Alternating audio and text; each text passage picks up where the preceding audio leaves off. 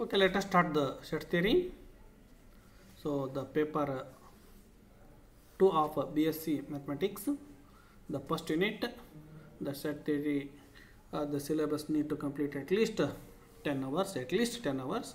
We need to take the maximum hours of teaching because uh, 10 hours are not sufficient to study the detail.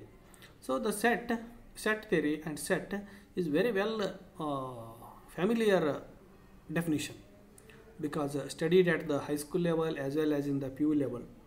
Okay, it is a formality to introduce uh, once again the set theory. What is set? Set theory, the a little bit introduction. This uh, set is it is often called as the foundations of mathematics. The set theory is also called as the foundation of mathematics. Set theory created approximately in the year 1850. In the year 1850, these are the mathematicians contributed in the mathematics uh, David Hilbert, Cantor, and Dedekind and Peano's. These are the main mathematicians. uh, They are well contributed in uh, constructing the set theory. Okay, students, now come across uh, what is the definition of a set. What is it? What is set? Set is a collection of well-defined objects. Set is a collection of well-defined objects. So here it comes uh, collection. What type of collections? Uh, and what are the objects?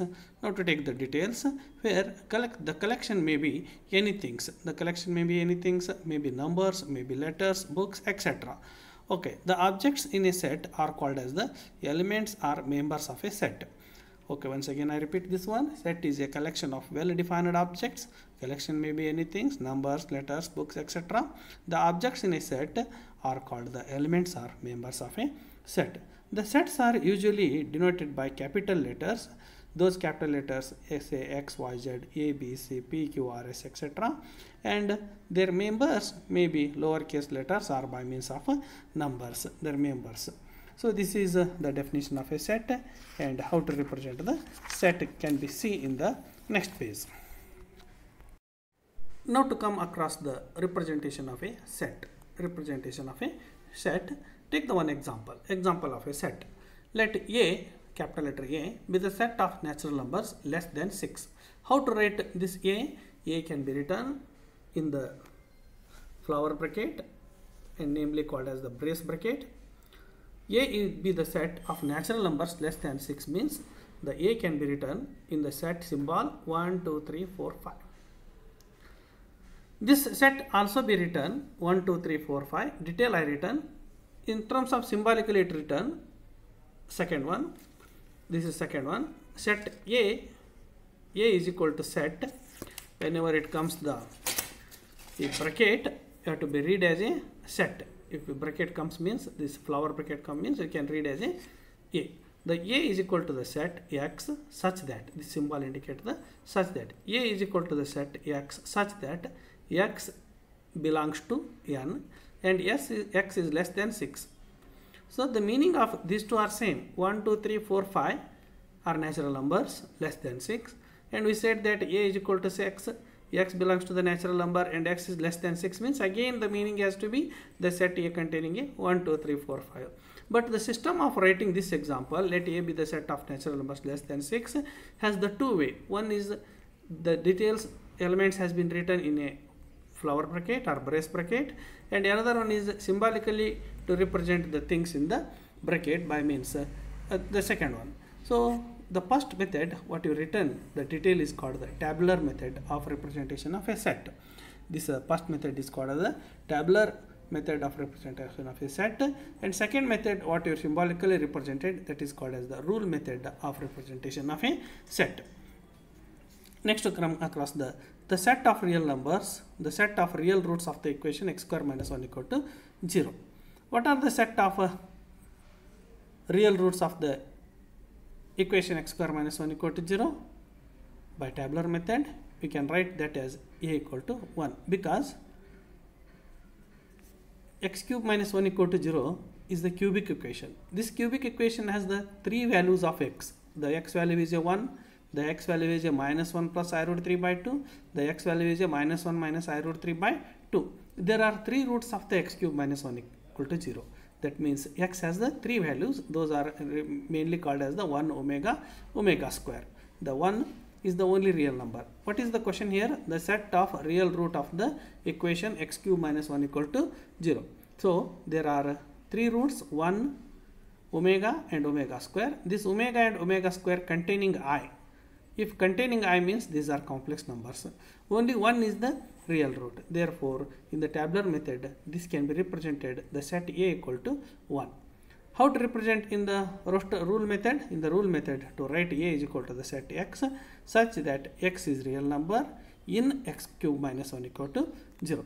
This is the method of representing a, a example in the tabular method and the rule method. So I hope it is clear. huh? So the one thing to remember x cube minus 1 equal to 0. The question is the real roots x cube it is a cubic equation if cubic equations means it has the three values of x those three values of x is nothing but the 1 omega omega square namely omega is a minus 1 plus i root 3 by 2 omega square is a minus 1 minus i root 3 by 2 only real root means 1 therefore it is 1 can be written there. In the rule method this is x x is real in x cube minus 1 equal to 0 this is the way of uh, representing a set in the tabular method and the roster method. Next to go for the types of uh, set. Next to go for the types of uh, set. What are the types of set? There are uh, two types namely infinite and finite sets and many more are there before that what is finite set and infinite set? For example a is equal to the set containing 1 2 3 4 5 there are limited numbers therefore it is called as a finite set. And this uh, set be written as uh, 1 2 3 4 after that 1 2 3 4 dot dot dot dot dot. So many dots to be written. That is called as the infinite set. That, that means continuous. 1 2 3 4 5 6 7 8 9 and so on to be continuing up to uh, uh, continuously infinitely. Therefore it is called as a infinite set. What is the definition of a finite set? So if it is set a is said to be finite means it has the definite number of elements. If a set a b set a is called that as the or b is called as the infinite it has the infinite number of elements. Next it is a singleton set. Singleton means a set containing only one element. For example a is equal to the singleton set 0 b is equal to the singleton set 1 c is the singleton set a. This set symbol and it is a 0 only one element. A set containing only one element is called as a singleton set. Next the empty set. What you called as the empty set? There is a symbol of set but no elements. Then it is called as a empty set. Empty set is denoted by either by means of a bracket or by means of a this symbol phi. So what is empty set? A set consist- consisting no elements a set consist- consisting no elements is called as the empty set. Next to go for the subset. The subset. The subset symbol has been indicated here. And superset the reverse of this subset is a the direction has been changed. It is suppose to the rightwards and it is the leftwards. Subset symbol and it is a super subset suppose a is said to be subset of b the written as a subset b. Whenever a is called the subset of b this all the elements of a are in b. B is the biggest set here. A are the constructed a the set a is constructing from b. That a is called as a subset of b. Meanwhile if a is the subset of b then b is the biggest set and a is the smallest set. Then on that time we can call as a b is superset of a. So read this as a a is subset of b. Read this as a b is superset of a. So this is the meaning of subset and a superset next to come across the universal set. Universal set is usually denoted by capital letter u. The universal set is usually denoted by capital letters u. What do you mean by a universal set? Universal set means it is a big set. Big set means it it has capable to form the number of subsets. It has capable to form the number of subset. Suppose the set of natural numbers. The set of natural numbers 1 2 3 4 5 and so on. In the natural numbers there may be two tables 2 4 6 8 there may be three tables 3 6 9 there may be 5 multiples 6 multiples and 7 multiples.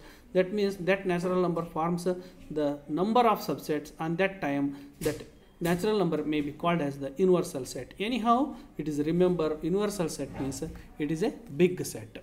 Next to come across the operations on set So the main familiar operations on set is the union of two sets and the intersection of two sets.